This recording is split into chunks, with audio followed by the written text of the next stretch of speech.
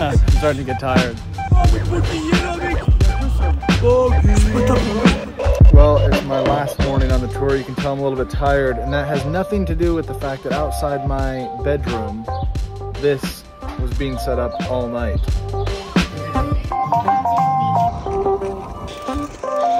In the Alps, check it out.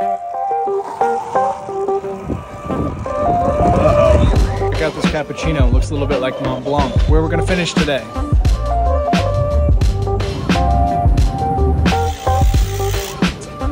advertisement for uh, laundry detergent, which I could use. I think I've worn this shirt three times. Came to the Tour de France with only five pair of underwear. Been here 10 days, getting a little stinky.